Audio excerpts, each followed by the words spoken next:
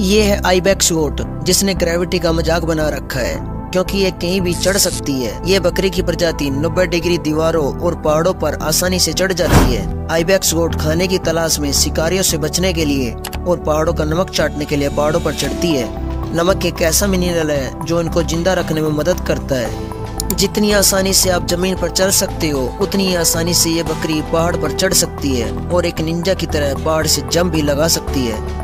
और आपको ऐसे ही नए नए फैक्ट्स के बारे में जानने में दिलचस्पी है तो हमारे साथ जुड़े रहिए।